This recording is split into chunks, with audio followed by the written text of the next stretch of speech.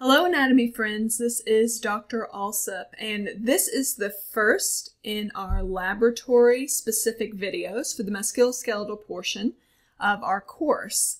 And I have these divided into separate stations as if we were kind of sitting at a station in a laboratory trying to see the structures that we need to focus on and then we'll move to the next station.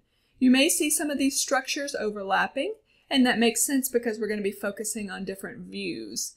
So be aware that that, that may pop up. Okay, so let us start with the anterior cranium. And really, it could be anterior skull, even though we are not going to focus on the mandible in this particular um, discussion. So we are looking at an anterior view, and there's a few reasons why we know that we're looking at an anterior view. And really, this should say skull right here because we do have the mandible. But as you can see, that's not what we're focusing on here. So we we know we're looking at anterior view because you can see the larger portions of the orbital openings. The teeth are kind of facing us, and as we know just by looking at ourselves or looking at our friends or family, you can see teeth are going to be more anteriorly placed. So we're looking at a direct anterior view, and we're going to focus on a few things that we can see best from this view. And these are going to focus first on the frontal bone. So the superior most bone up here, that's going to extend up into this region and this region around that coronal suture, which isn't quite as visible right here, and we'll talk about the coronal suture in another video.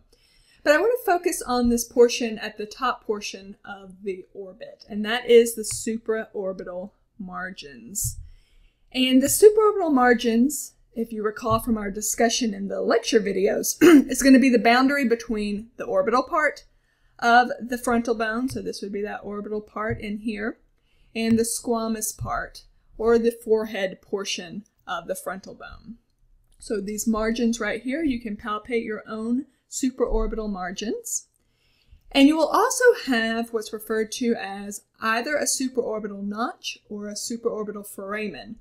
On this particular donor, we have both a notch, which you can see here, and a foramen.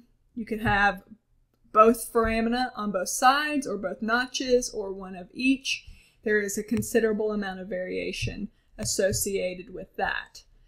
And this is going to allow for the exit of supraorbital neurovasculature. And the supraorbital nerve is going to be a branch of V1, which is the first division of the, the uh, trigeminal nerve. So cranial nerve 5 in that first division of cranial nerve 5.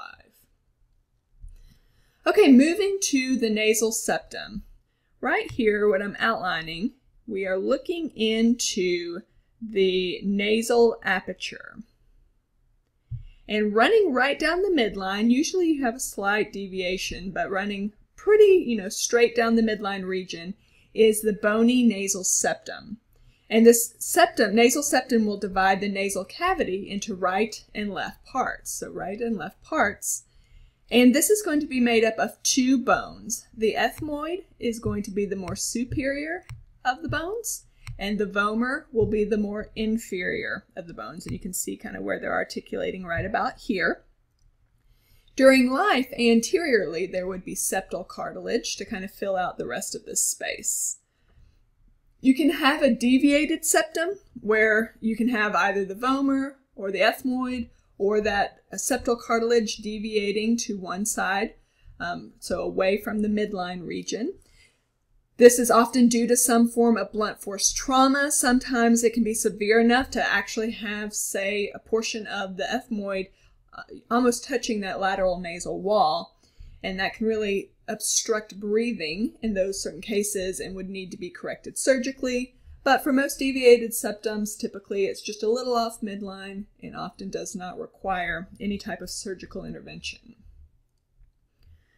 A few things you can see kind of on the side of the nasal aperture is going to be the conchi, concha, or the turbinates.